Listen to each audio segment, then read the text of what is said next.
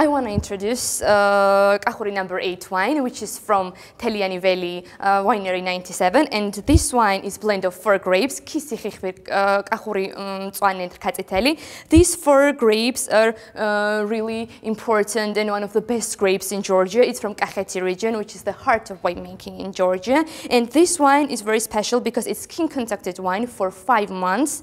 And it was fermented in a steel vessels. Because of that, because of the skin contact, we have this more smooth tannins and we have we can smell the stone fruits and the dried fruits and there's more spicy flavors. Uh, also we can uh, uh, when we are tasting, we can feel this long finish uh, and this uh, full-bodied uh, full-bodied wine. so with food pairing, it is really good with fish and cheese. Cheers.